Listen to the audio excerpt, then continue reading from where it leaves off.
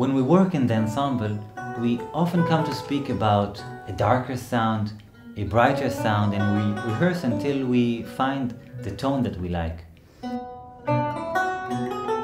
So, music and paintings, already in the vocabulary, are very strongly linked.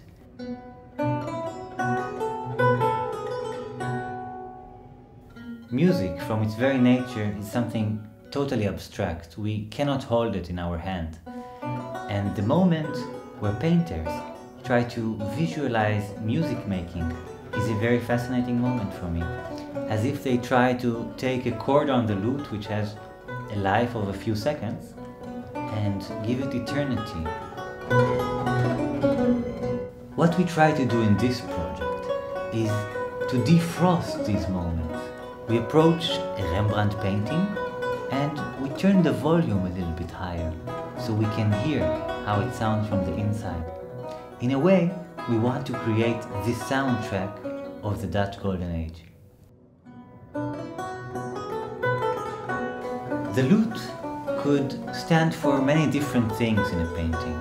As a harmonical instrument, it usually symbolized harmony, both in society and also in love, particularly in marriage.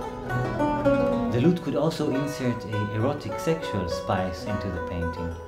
Most of Bordello sceneries have lutes or citterns either played or hanging on the wall.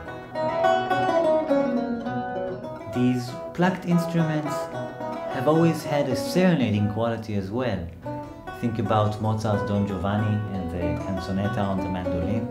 The lute had a similar role in the Dutch Golden Age. The famous lutenist Nicolas Vallet even offered aubades and serenades as part of his professional musician's package.